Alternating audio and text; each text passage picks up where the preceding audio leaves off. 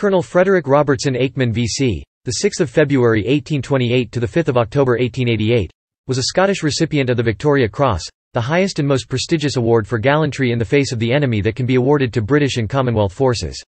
Early life Aikman was born on the 6th February 1828 and later baptized on the 4th May.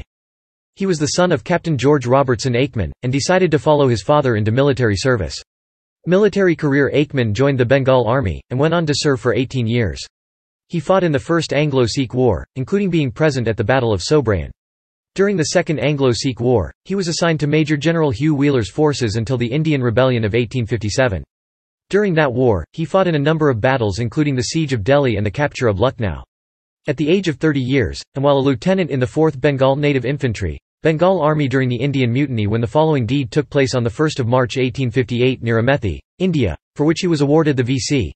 This officer, commanding the 3rd Sikh Cavalry on the advance picket, with 100 of his men, having obtained information, just as the force marched on the morning of 1 March last, of the proximity, three miles off the high road, of a body of 500 rebel infantry, 200 horse, and two guns, under Musahib al-Ctuckbdar, attacked and utterly routed them, cutting up more than 100 men, capturing two guns, and driving the survivors into, and over, the Gumti.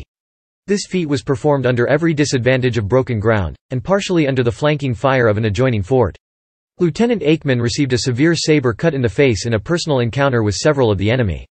He ended his military career with the rank of colonel in the service of the Middlesex Regiment Volunteers after retiring on half pay due to the injury he sustained in the Victoria Cross action.